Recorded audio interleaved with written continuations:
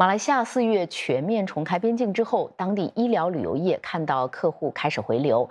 马国医疗旅游业者相信，人数不但有望恢复到疫情前水平，预计二零二五年还将取得超过四亿五千万美元，比二零一九年疫情前增加约两成。来看本台驻马来西亚通讯员阿非法的报道。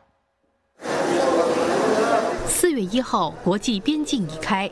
来自印尼的莫斯塔法马上为母亲在罗佛一家专科医院预约看诊。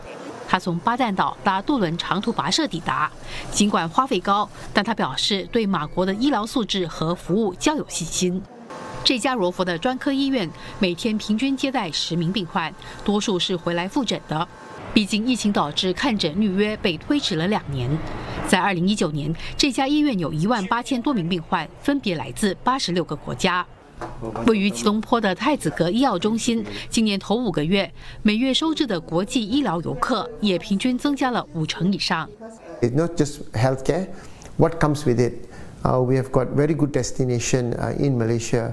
holiday resorts, beach resorts, hill resorts, and that's I think one of the main attraction of coming back to Malaysia. The growth seems to be going upward, and we are also going out to offer the services that we have to ensure that the patient comes here, they are safe to travel, because they need to understand that there are many patients right now they want to travel, they are not well, but they're also afraid of uh, the rebound of COVID-19.